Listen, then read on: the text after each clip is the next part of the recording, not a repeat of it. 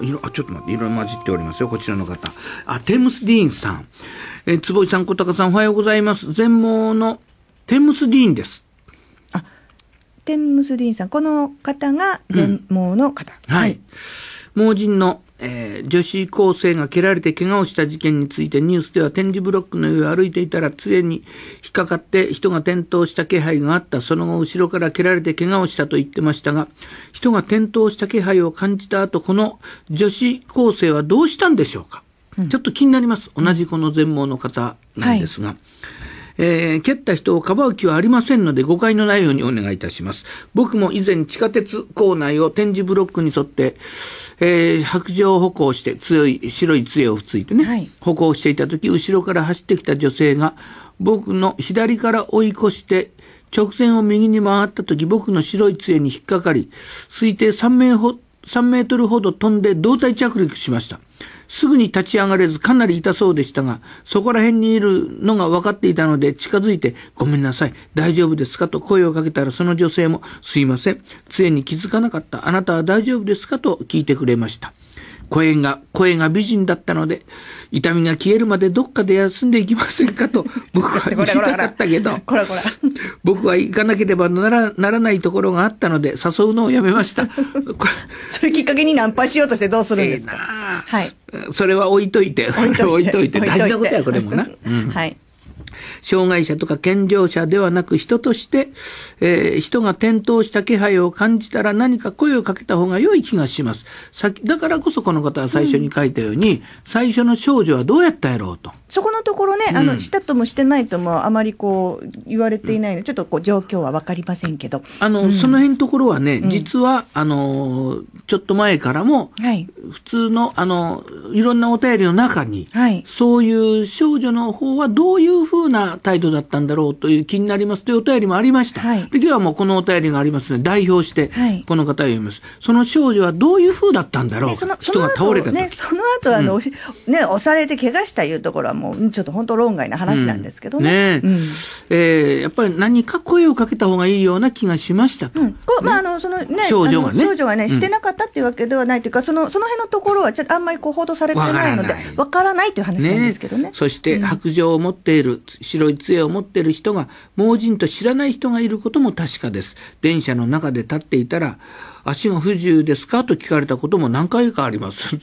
ちょっとな。あ、そうか。杖がからああ、杖だから足が悪いんですか？と言われ何回かあります。それから、どのパーソナリティの人も点字ブロックの使い方を知らないようですと。この、昨日これやりましたね。はい、この上を歩きやす、こいつ、この上歩いていけばずっと行けるじゃない。あ、その上歩きにくい。うん、それに沿って歩いていくんだと。いうことです、ね、足であれをこう感知しながら歩くのではなくて、うん、その横に立って歩いて、杖でその点字ブロックを触りながら歩くんだ、そうそう。時には足の裏でちょっと確かめながらもね,、基本はそういうことそういうこと。勝秀幸さん白い杖がどのような意味を持っているかが分かればこのような事件は起きなかったと思います、うん、勉強僕らはねさせていただいてますね、はい、いろんなことからね、ね、うんで、まあ、そういうようなね、い。ろんなこの目の不自由な人やら何やらが今置かれている状況、ヘレン・ケラーケラーが、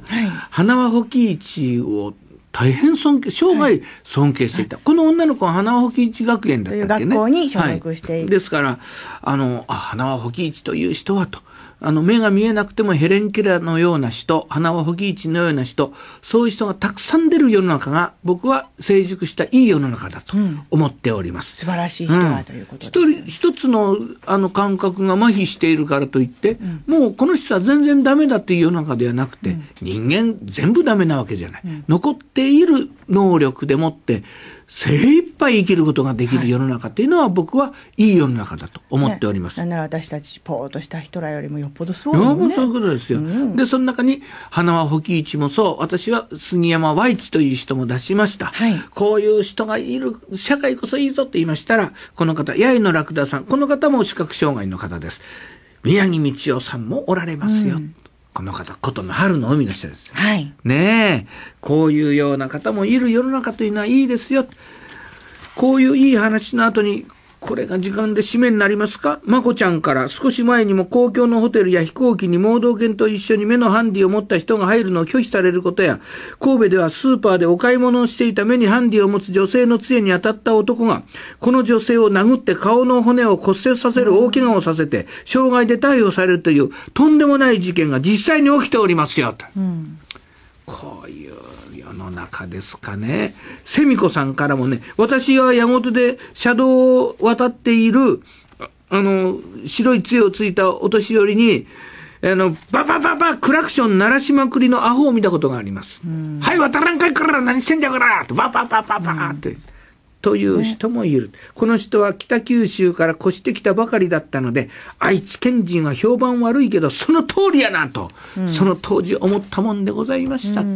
いうことですね。ねえそういたしますと、まあ、愛知県人もこんなのおります。埼玉ではそういうようなことが起こった。というねことで。世の中そんなに優しくないのかなうんねうんそれ全部自分に返ってくる話なんとですけどね世間にねですけどもね。はい。